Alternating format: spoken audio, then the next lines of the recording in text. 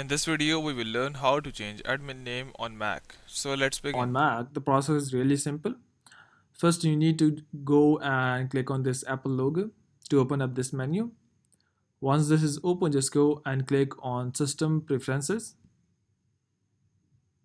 Once System Preferences are open, just go and click on Users and Groups. Double tap on this. This would open this Users and Groups. Now first click on this lock and enter your password of Mac and click on unlock.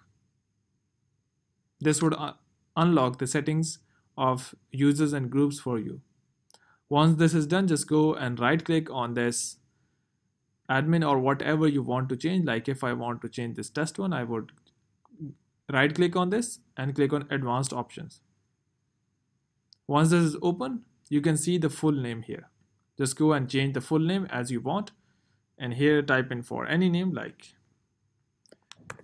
YouTube.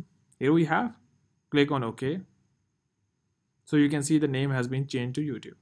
As well you can change the name of this as well. Advanced option similar just go and change the name.